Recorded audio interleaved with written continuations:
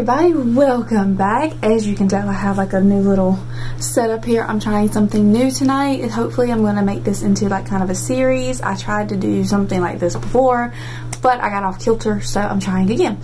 This is going to be, I know y'all have seen, what is it, the paint and pours? Well, we're to try and do a little drink and paint. That's what I'm to call it, drink and paint. Where I present to you a certain bottle of alcohol, which in this case is Richard Childress's, um, well, it's from Richard Childress's Vineyards, but it's their sweet blush wine, their muscadine wine, for this video anyways, because I wanted to try that, and I've never had their stuff, and they live like right up the road, well, a couple hours up the road, but still, I wanted to try it.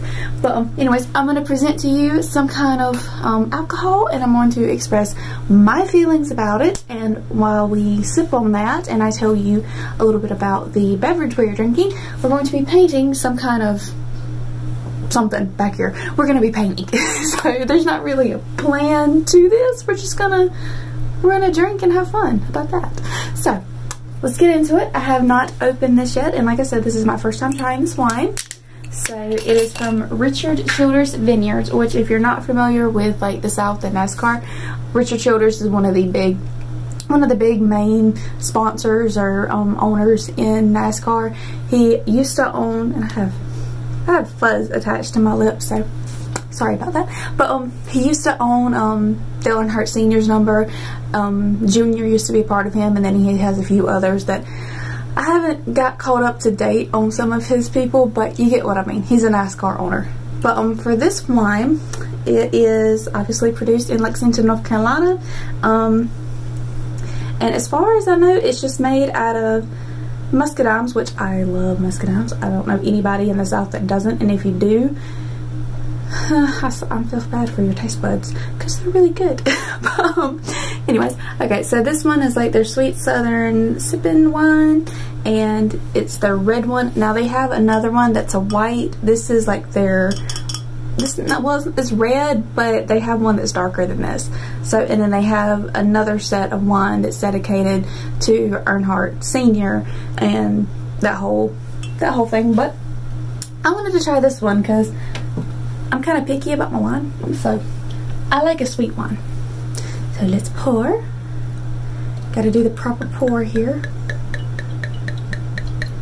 And yes, this isn't the wine glass for this type of wine, but I don't really know what you would drink a muscadine wine out of. Because I know red wine and white wine has a certain glass, but I'm not so sure about muscadine.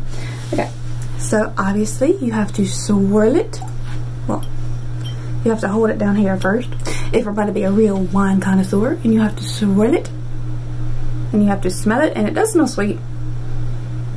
Although I smell a little bit of like the tanginess.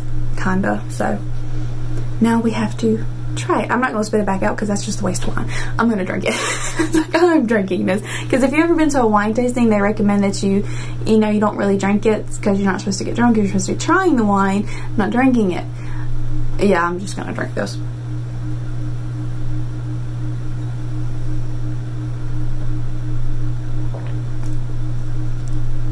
Not as sweet as I was thinking it was going to be, but not as bitter either. It's kind of like if you've ever had a muscadine right before it gets really, right before it goes bad, but when it's still kind of sweet, that's what this tastes like. And if you haven't, then it's, I wouldn't say it's as bitter as a red wine, depending on what kind of red wine you have. It's not dry at all, by the way. This is not a dry wine. Um, it's actually fairly this would be good for, I could see maybe like eating red meat with this wine. I don't know why, I just get the red meat kind of thing. Because you know, when you drink certain wines, you can kind of pick up on the notes and stuff in it that you would want to pair with certain foods. Like this, I could see maybe a really good filet mignon or a steak or, or you know, like a sirloin steak or um, something like that. Something along those lines. Maybe even a really good roast, like a really tender roast I could see with that. But like I said, when you smell it, it smells sweeter, and then when you try it,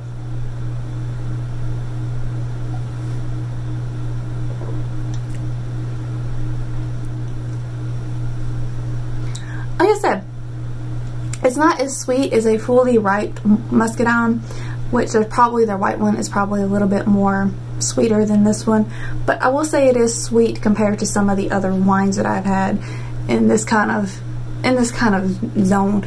Now, the only notes that I really pick up is you can really taste the muscadine in it. Um, like I said, it has a little bitter note in it, but it's very well balanced. I'll give it that. This is a good, as I said on the bottle, it's a good sipping wine. So let's sip this. I'm going to set this down and we're going to refocus the camera more toward the canvas and we're going to paint something. I don't know what, but we're gonna paint something. So give me just a second. Okay, now that I've repositioned my camera and put on some more light for y'all, I'm just gonna turn the palette a little bit more toward y'all. Okay, now all I'm using is some basic acrylic paint. Um, I'm not using a brush, I'm actually gonna be using my little, I don't know what you really call these, my little spatula tools. I know they have a technical name, and I actually have metal ones. I just don't know where they are right now. So we're using the plastic ones. But I'm going to do some kind of abstract painting on here. And I'm just going to pick from my little colors and just kind of dab it on here. And really see what I come up with. Uh, let's see. Let's take... And these are brand new. I haven't even opened these yet. So I'm just going to do that. I'm just going to dab some on.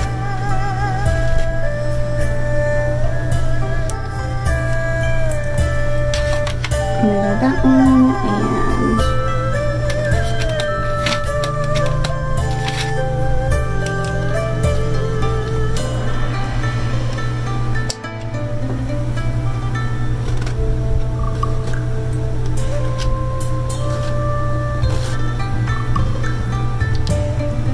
See the first color I picked was a dark blue and the second color that I have is just a portrait pink is what I'm using.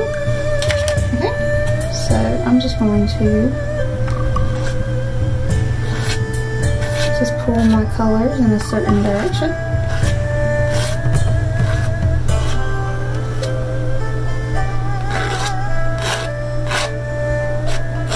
I kind of want to get the blue spread out a little bit right now.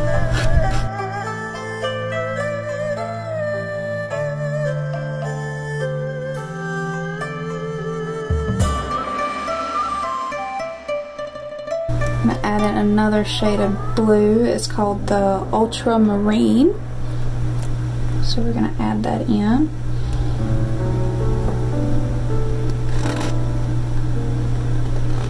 Like I said, it's just a different little shade of blue. Right now I'm working with a lot of blue.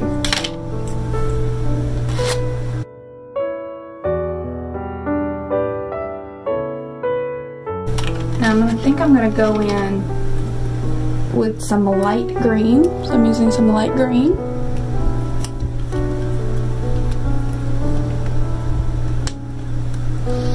And my main thing is I'm trying to keep all of my motions kind of in the same general area.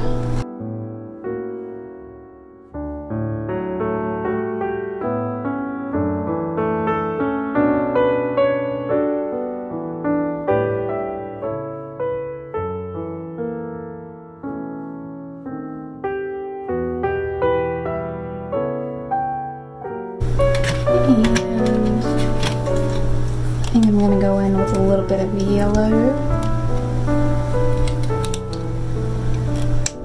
going to be using a medium yellow.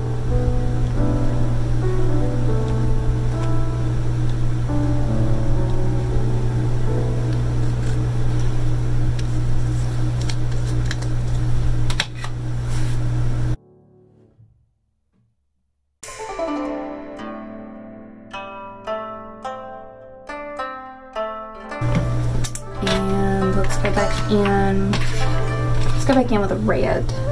Yeah, we're gonna go in with a scarlet.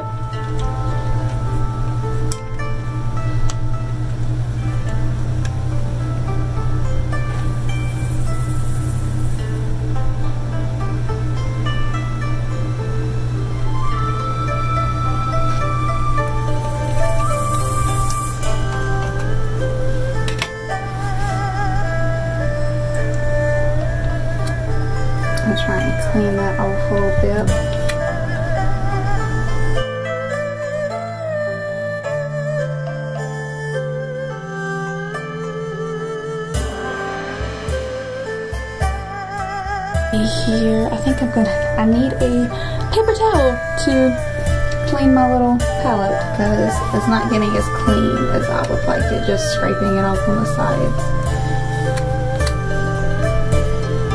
So give me one second. Okay, gotta get something to clean my little whenever I figure out the name of this, I'll put it like somewhere around in there, let y'all know what exactly I'm using.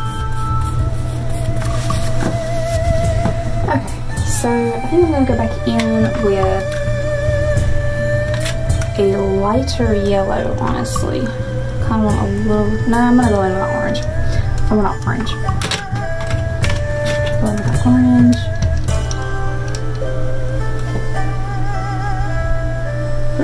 It might help if you break the seal. I keep forgetting these are brand new paints. So we're just gonna go in with some orange.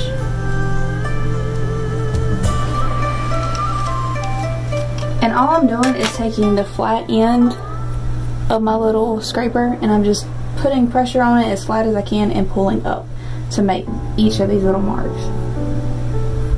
But I'm trying not to really blend it.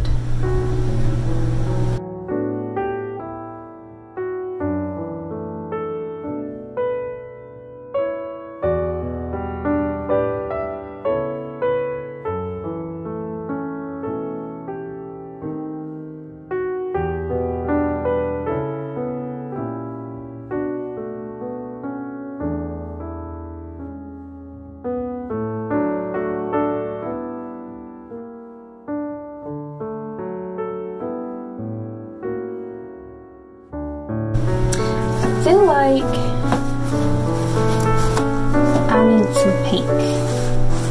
What do y'all think? With a little pink in it? Looks like we need some pink. And I might add a bit more blue because it looks like my red is kind of taking over my blue. I don't have a really light pink. I have, have a magenta. Let's see how the magenta goes. Because when I went back in with the I have, I do have the portrait pink, but I think that's a little bit too light. And I don't have anything here to really mix it with, so I'm just going to break my seal. Let's go back in with a few spots of that. Hmm. See if we can't break up some of this really heavy color.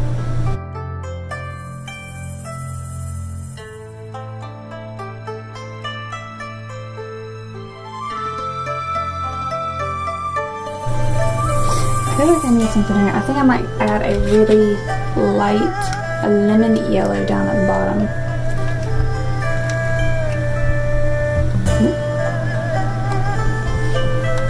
Hmm. adjust my canvas a little bit. So I can really get at the bottom.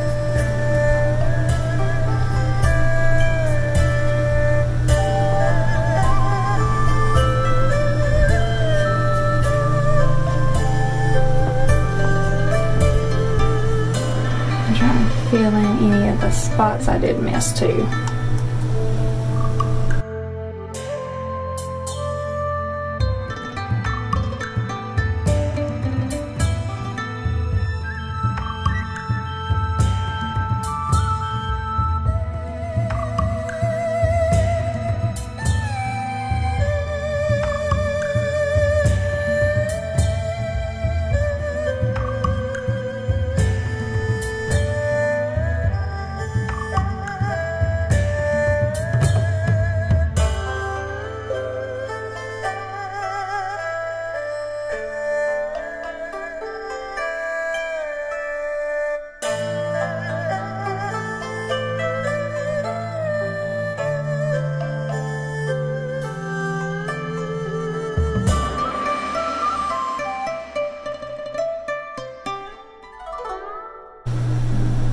I'm not really sure what it ended up being, but here is our overall result from our drinking paint. okay. So let me readjust our camera there. There we go. So, I hope y'all took some time to relax after your long day of work today. And, you know, you didn't necessarily have to do the conglomeration that I did, which I'm not even really sure how I did it, and most of you people out there might think this is horrible. I kind of like it. I don't know. It gives me like a, I don't know, like a forest kind of, I don't know. It, it gives me like a nature vibe, like a nature at sunset kind of vibe. That's what it gives me. But here is the portrait up close so you can see it in all of its detail. Now this will have to sit up and dry and this is going to be the way that I'll probably display it. I might even end up putting a, uh, a like a resin glaze over this and painting the sides and put it on the website for sale. But yes, I hope y'all enjoyed our little paint and drink. Hopefully this is going to be the first in these series.